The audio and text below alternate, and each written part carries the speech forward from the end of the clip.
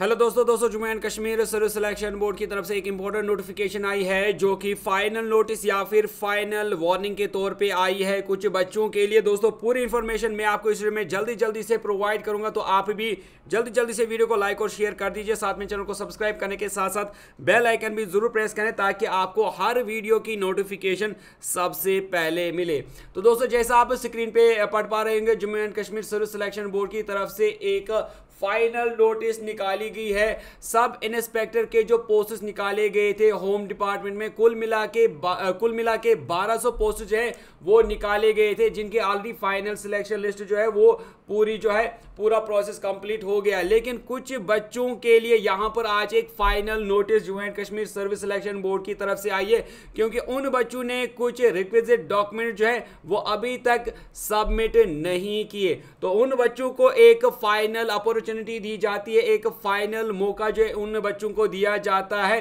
अगर वो सिलेक्ट होना चाहते हैं तो क्या डॉक्यूमेंट्स इनसे मांगे गए, वो आप स्क्रीन पे देख पा रहे होंगे। यहाँ पर कुछ बच्चों के नाम हैं और इन बच्चों से कहा गया है कि वो ई डब्ल्यू एस की जो सर्टिफिकेट है, जो उन्होंने अभी तक नहीं भरी है तो उनसे कहा गया है कि वो ई डब्ल्यू एस की जो सर्टिफिकेट यानी जिस कैटेगरी के अंडर उन्होंने अप्लाई किया है ई डब्ल्यू एस कैटेगरी के तो वो ये सर्टिफिकेट जो है, वो Jammu and Kashmir service selection board के ऑफ़िस में सबमिट करेंगे।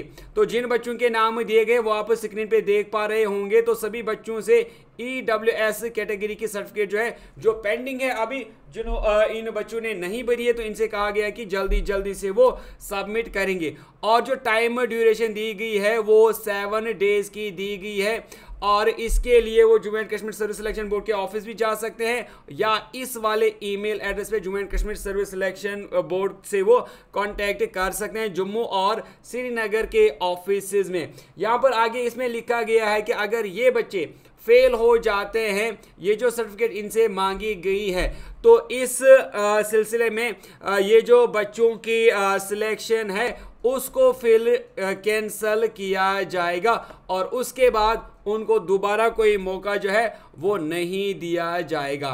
तो दोस्तों, ये थी एक important update Jammu and Kashmir service selection board की तरफ़ से। जे के पी एस आई के जो 1200 पोस्ट निकाले गए थे और इन बच्चों ने अभी भी अपनी ई डब्ल्यू एस कैटेगरी की जो सर्टिफिकेट है वो अभी भी नहीं भरी है।